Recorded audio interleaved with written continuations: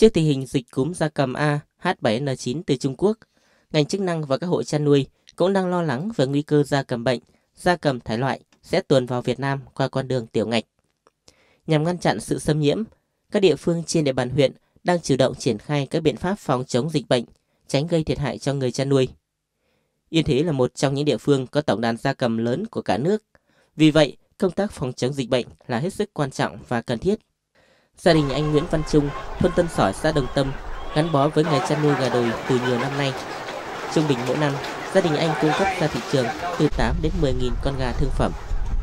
Ngay khi biết có thông tin về dịch cúm gia cầm A H7N9 đang diễn biến phức tạp tại Trung Quốc,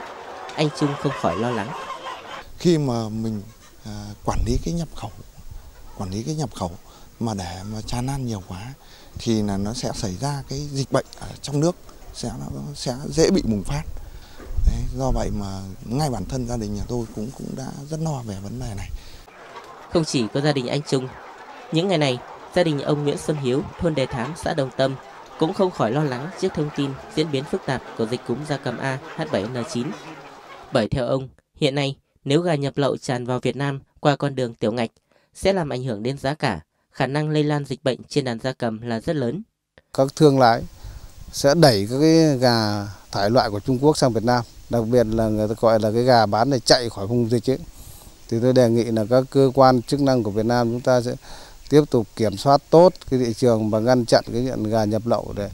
vào Việt Nam. Đó là một hình thức là ngăn chặn dịch cũng đồng thời là bảo vệ ngành chăn nuôi trong nước. Là tập trung vào công tác ờ, chỉ đạo thú y, giám sát uh, dịch bệnh tới tận các cái uh, thôn một cái hộ để phát hiện và xử lý ờ, nếu có các trường hợp mà xảy ra dịch bệnh. Cái thứ hai là ờ, khuyến cáo và tăng cường ờ, là nông dân là tiêm phòng, đặc biệt là các loại vaccine trên đàn gia cầm mà quan trọng nhất là vaccine cúm gia cầm H5N1 và khuyến cáo người chăn nuôi là chăn nuôi theo các cái hướng an toàn sinh học. Toàn huyện hiện có khoảng từ 6 đến 7 nghìn hộ chăn nuôi. Trung bình mỗi năm cung ứng ra thị trường khoảng từ 12 đến 14 triệu con gà và là một trong những địa phương có tổng đàn gà lớn của cả nước. Hiện nay, Ủy ban nhân dân huyện đang chủ động chỉ đạo cơ quan chuyên môn, Ủy ban nhân dân các xã thị trấn và người chăn nuôi chủ động các biện pháp phòng chống.